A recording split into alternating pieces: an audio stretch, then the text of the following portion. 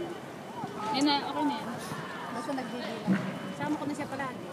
Libon. Oh. Eh, minsan ayoko isama. Nakakawalang gana kasi. Ito si Shaki, si Miley, si Tess, si Sha- Sharon, si Myla, Sama mo sa engot natin. Si Engot. si Ba't Parang ayaw mo pang banggin yung engot. Engot, ukang kang. Namiss ko yung pansit talaga. Hindi naman Ena. Anong pangalan niya? Pangalawa pa lang. Pangatlo na ako. Di ba alis ka na? ulit, ulit. Kain pa ako.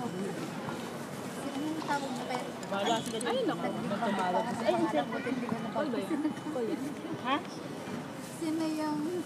Si Lagyan mo nga ng ano, ng... Sino na yung sabi niya? Ayan, nasa tabi mo. Hindi, ng ice. Bonicia. Ah, ni Mami Junida.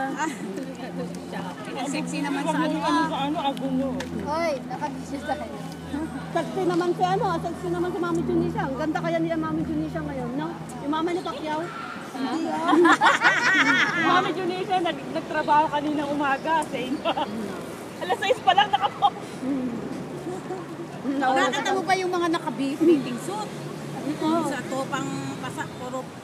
Tapos meron silang ipinost doon yung parang matanda, di ba? Yung parang kakatayin ng bangko. Hahatawi, parang gaganyan ng. Kay, doon ako na ako nag...